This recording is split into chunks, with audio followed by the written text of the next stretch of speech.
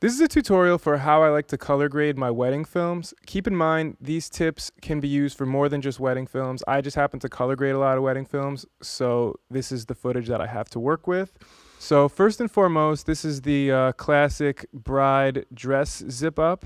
The first thing we're gonna do is open up our color board. And from here, we can visibly see a ton of yellow. So all we're gonna really do is take our highlights and come over to the yellows. You know, if you go plus, you're going to add yellow. However, if you go minus, you're going to subtract yellow.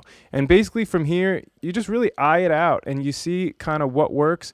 You know, with this, we're, we're going real extreme with this. This was a hotel room, tons of, uh, tons of yellow. But, uh, you know, eyeing it out, I kind of like, uh, I kind of like right there.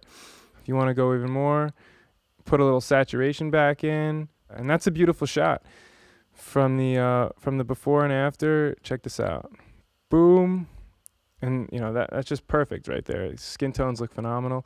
Our next shot is the classic cake shot, and this is in a uh, wedding reception hall. So you know you got that that awful looking the, these weird colors they're just constantly throwing at you. You know, in this case, this case we get a, uh, a purple. First step, just like the last time, we're gonna open up our color board. We see there's a ton of purple, so we're just gonna take our highlights and just go negative into the purple.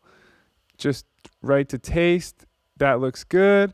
From here, we still see there's a decent amount of purple left. So I just like to take the mids sometimes when it's really extreme like this. I'll take the mids and just kind of bring it down, but I'll use this slider and just kind of bring it down like maybe two or three percent, just very subtle on the midtones because the midtones have a lot more.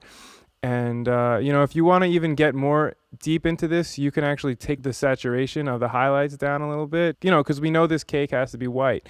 So doing that, if you uh, if you even want to boost the exposure a little bit, and you know, we got a pretty uh, pretty pretty white cake now. So for the uh, for the before and after, let's check this out.